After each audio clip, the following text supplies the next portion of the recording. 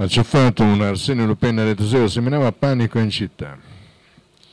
Un ladro seriale, 43 anni, aveva tenuto terrorizzato commercianti residenti a Siracusa. Un Arsenio Lupin dei giorni nostri che avrebbe inanellato una serie di furti in abitazioni e attività commerciali facendo eruzione di notte e derubando nei locali e domicili prescelti. La Polizia di Stato e l'Arma dei Carabinieri di Siracusa, coordinate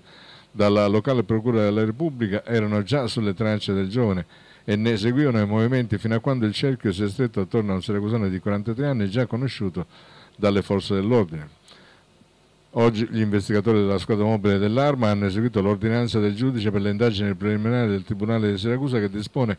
per il 43enne la misura della custodia cautelare in carcere considerata la non accusabilità della sua condotta.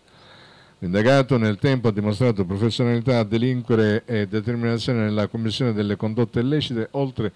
che una grande capacità organizzativa agendo sempre di notte in assenza di passanti. Gravato da numerosi precedenti di polizia, anche specifici, e al suo carico sono stati raccolti gravi indizi di colpevolezza in ordine a ben otto episodi di furto aggravato nella forma tentata e consumata ai danni di attività commerciali e abitazioni private della città retusia. Per meglio comprendere la pericolosità sociale dell'uomo basti ricordare che nell'ultimo periodo aveva preso di mira e derubato oltre che private abitazioni anche bar, supermercati e ristoranti causando ingenti danni alle strutture facendo razzie di merci e di denaro. Il modus operandi era quasi sempre lo stesso, il 43enne avrebbe forzato il portoncino d'ingresso delle abitazioni o degli esercizi commerciali con qualsiasi mezzo a sua disposizione, delle volte attraverso un blocchetto di pietra, altre volte sferrando ripetuti calci, altre volte ancora utilizzando un motociclo come ariete per poi impossessarsi dell'incasso di altri beni presenti nei locali.